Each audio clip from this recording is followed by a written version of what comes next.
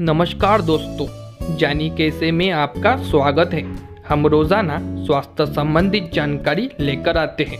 हमारे चैनल को सब्सक्राइब करना ना भूलें और साथ ही बेल आइकॉन को ज़रूर दबाएँ, जिससे कि हमारे सभी वीडियो की नोटिफिकेशन मिले आपको सबसे पहले। गर्मी में पसीना आना वैसे तो बहुत ही आम बात है लेकिन कई बार ऐसा देखा जाता है कि बिना किसी कारण के हमें नॉर्मल से बहुत ज़्यादा पसीना आने लगता है, जिसे आमतौर पर लोग इग्नोर कर देते हैं। अगर आपको भी ज़्यादा पसीना आता है तो इसे बिल्कुल भी इग्नोर ना करें, क्योंकि ये आपके लिए किसी बड़ी बीमारी का संकेत हो सकता है।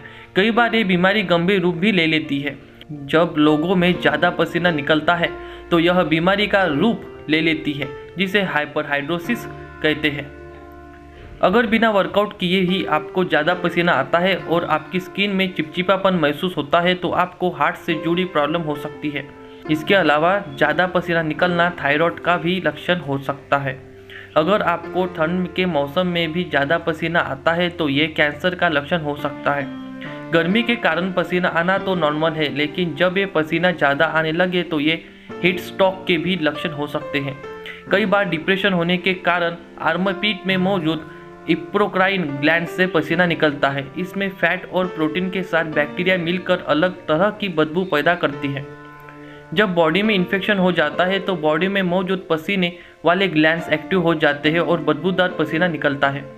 महिलाओं में प्रेगनेंसी के दौरान हार्मोन्स, मेटाबॉलिज्म और ब्लड सर्कुलेशन में होने वाले बदलाव के कारण उन्हें गर्मी ज़्यादा लगने लगती है। जिसके कारण पसीना ज़्यादा आता है। इसके अलावा बढ़ती उम्र के साथ आने वाले मेनोपॉज के कारण भी महिलाओं में ज़्यादा पसीने की समस्या देखी जाती है। यह है इन बीमारियों से बचने के उपाय।